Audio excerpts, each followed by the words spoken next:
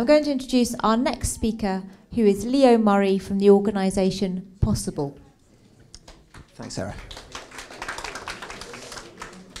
Hi, everyone. So, um, my name's Leo Murray. I am a director at the climate change charity Possible, and I'm going to try to talk you through some of the options for reducing the expected growth in demand for air travel. So, um, the basic problem is simple, and that is that on current trends, we're expecting a lot more flying in the future than we can fit inside this net zero target.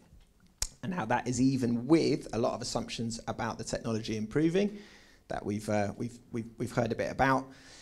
Even if technology does improve and we're quite optimistic about those assumptions, we're still looking at a lot, much more growth in air travel than is permissible if we're trying to meet this net zero target. So the government is forecasting about 50% growth, but the Committee on Climate Change is saying that yes, air travel can grow, but not by more than 25%. So we're looking at twice as much growth in air travel as we can fit inside this budget, even with a lot of uh, good technology improvements. Now, this is not an easy thing to do to manage demand down to within that safe limit. Um, and there are two kind of areas of key challenge if you're trying to do this as a policymaker. The first is around cost, and that is Fundamentally, there are a lot of quite generous tax breaks that have kept the cost of air travel artificially low relative to other forms of transport. Um, and of course, people have become accustomed to cheap flights. And uh, it's, you know, it's very difficult if you're a politician to roll that back. But we know that almost whatever happens, air travel is going to have to become more expensive in some way. So that's the first challenge. And then the, the second area of challenge is the international nature of air travel. It just does make it difficult for a national government to implement effective policy on this. Um, and the second half of that problem is that, you know, in an ideal world, we'd be solving this at a global level, but the United Nations has a global regulator on air, on air travel, and they are not doing their job properly. So um, I will talk a bit more about that in a bit. So Taxing air travel. At the moment, international jet fuel is completely untaxed. So it's totally free from tax, and it's been that way since the 1940s. There's a set of international agreements called the Chicago Convention, and most governments see the Chicago Convention as a legal block on them taxing jet fuel. But for comparison, and this is important, if we were in the UK to tax jet fuel at the same rate that you and I pay for petrol at the pump when we go to refill a car at a petrol station, I would add about £43 to the cost of a return flight to Barcelona or £200 to New York and back. So um, you're talking about a very big difference there. Now, we also, uh, plane tickets are 0% rated for VAT. And now that is alongside other items, things like wheelchairs and baby clothes are 0% rated for VAT. Uh, so is air travel. Um, for comparison, you know, there are items that have a reduced rate of VAT, like tampons, where you pay 5%, um, or solar panels, or bicycles pay the full 20%. So it gets a very generous tax treatment. Now, what we do do in the UK is we charge something called air passenger duty. Um, we charge that on most flights that are departing from UK airports, and nearly all passengers pay the reduced rate of £13 for short haul for a short trip within Europe, or £78 for a long haul flight.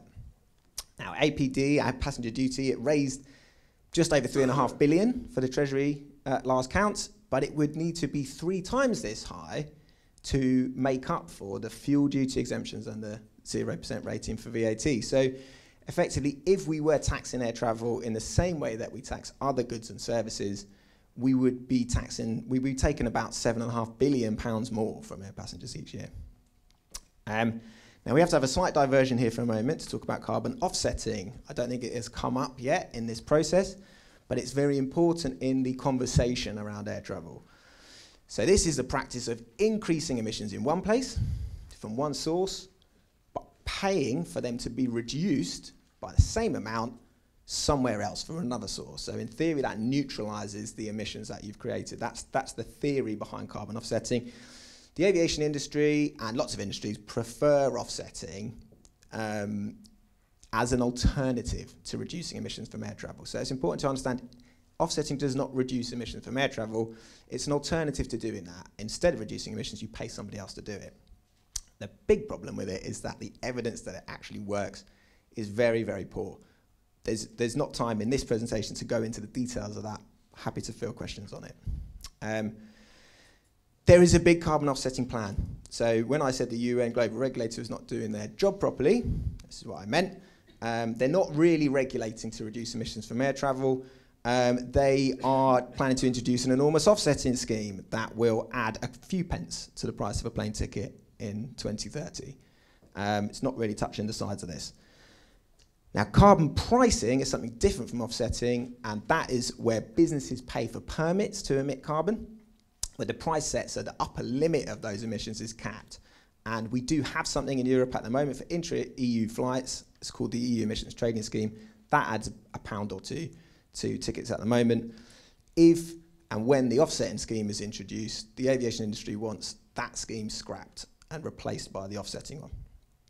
Um, it's important to understand that that prediction the government has of 50% growth in air travel, it factors in a carbon price. It factors in a carbon price of over £200 per tonne in 2050, and that has an effect on demand. But it's important to understand that there are that that's not an actual policy, and there are no policy plans in place to introduce that level of carbon price. And if we don't get it, then air travel will grow more than 50%. So what are our options here? Well, the simplest option would be to use air passenger duty. Um, because it is the only existing tax that we levy on air travel today, we could simply turn that up and we can do that quite easily and immediately. A downside of that is that air passenger duty is quite a blunt instrument. It doesn't match the emissions from the flight very well.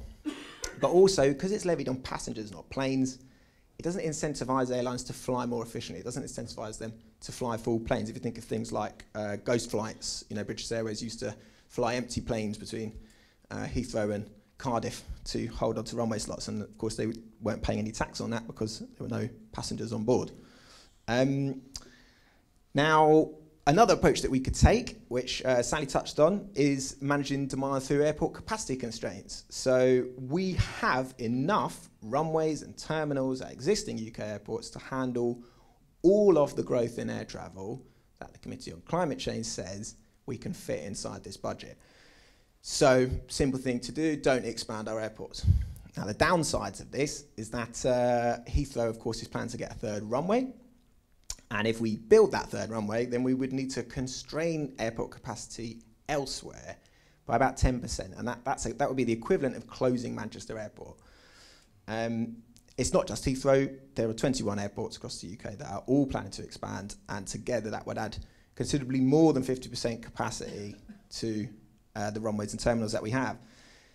This is mine and my organisation Possible's preferred option would be to manage that demand growth with a frequent flyer levy instead. Now, as we heard from Sally, 15% of people are taking 70% of all the flights. The problem is not really annual family holidays and so on. So this would replace air passenger duty, um, where you would have low or zero tax uh, for one flight per person each year, and then it would just keep going up for each extra flight that you take after that point. That shifts the rising tax burden uh, onto those who fly the most. Now, we know that some flights in the future have to be stopped, so whose flights are we going to stop? Now, if we rely on just increasing air passenger duty or carbon pricing or airport capacity constraints, what happens is most of the reduction in new flights comes from people on below average incomes who rarely fly currently. If you use a frequent flyer levy instead, it would mean most of the reduction in new flights comes from those on above average incomes who currently fly a great deal. So that's why I prefer it. I think it's fairer, uh, it's a fairer way of doing it. So just to conclude, it's really clear UK airport expansion, at any of our airports, it's not consistent with meeting this goal. We know that price increases are needed, but most options for doing that would hit lower income flyers the hardest. Um, so a frequent flyer levy could be a very effective way to manage that growth in demand for, uh, for flights within the safe limits, but still protecting access to some air travel for all income groups. So annual family holidays, seeing your mum, uh, you know, in another country, everyone would still be able to do that in this carbon constrained future.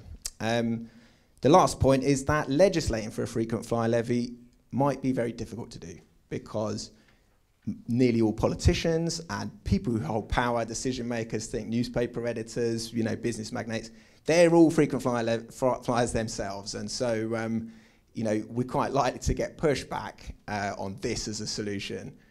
Thanks so much. So thank you very much, Leo.